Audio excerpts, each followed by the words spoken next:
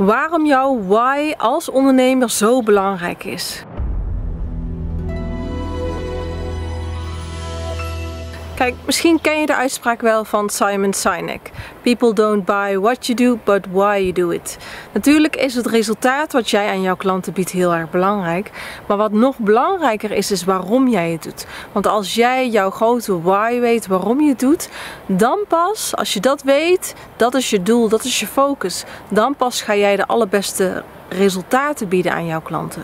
dus het kan heel erg interessant zijn om op YouTube eens te googlen naar Simon Sinek um, Why. En dan ga je de video's bekijken en dat uh, verklaart nog een heleboel meer.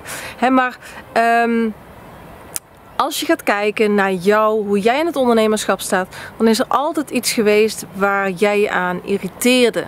Wat jouw grote doorn in het oog was. Of misschien heb je iets super positiefs meegemaakt en wil je daar graag uh, bij uh, helpen. Uh, of heb je een heel groot inzicht gehad.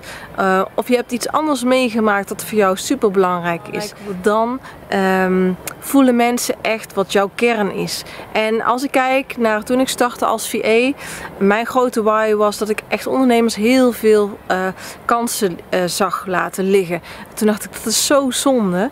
Dus um, hoe mooi is het als ik met mijn kwaliteiten andere bedrijven, en niet één, maar meerdere bedrijven help om te verbeteren, om kansen te grijpen.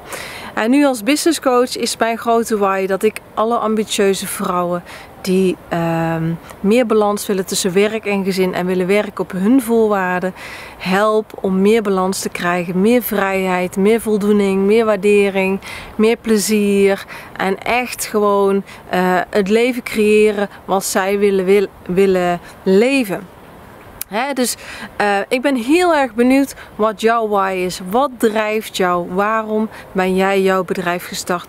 En wat is de reden dat jij andere ondernemers zo graag wil helpen? Super tof als je het hieronder achterlaat.